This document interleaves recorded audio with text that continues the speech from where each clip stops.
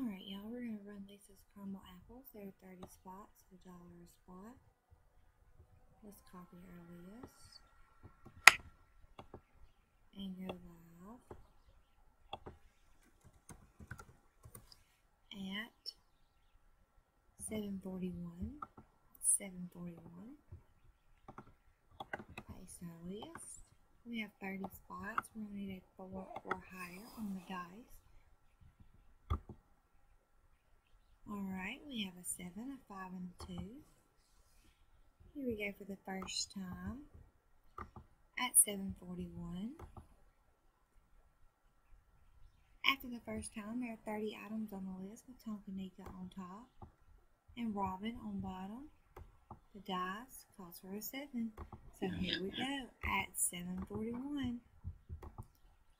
It's 2, three, four, five,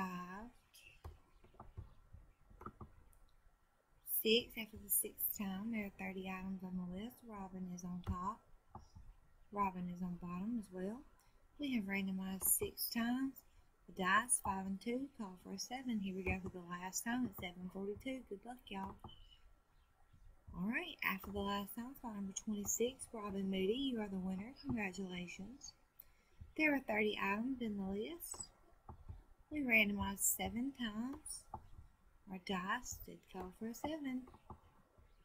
And we are done at 742. 742. Congratulations to spot number 26, Robin Moody.